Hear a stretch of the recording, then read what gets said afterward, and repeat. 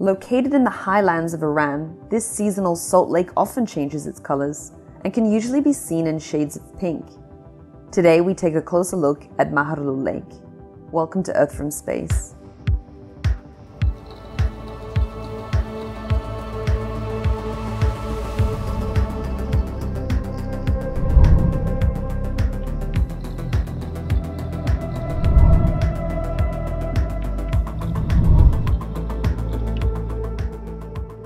Maharloo sits at an altitude of around 1,400 meters above sea level in southwest Iran.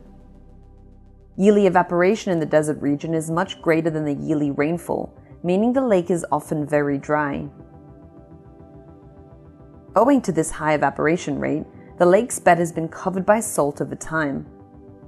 This increased salinity in the lake's waters has allowed certain algae to thrive and cover the surface. The water includes a variety of organisms that display colors ranging from pink to orange to red, with the strength of the color differing in various periods of the year. Usually, the deeper the lake is, the darker the colors of the water. The lake is seasonal, meaning that water levels drop in the summer, exposing the white lake bed, and rise again in the winter, in this satellite image, the lake appears dark orange, which means that it's very shallow but still contains some water.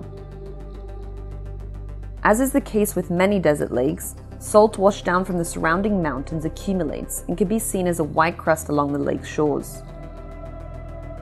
In some parts of the lake, facilities have been built for salt extraction, as seen here along the southern shore. The lake's excessive salinity prevents organisms, especially fish, from living in the lake. However, some birds migrate to Maharloo during the summer months, including flamingo. The lake is located around 30 kilometers from Shiraz, the fourth most populous city of Iran. Shiraz International Airport can be seen just south of the city.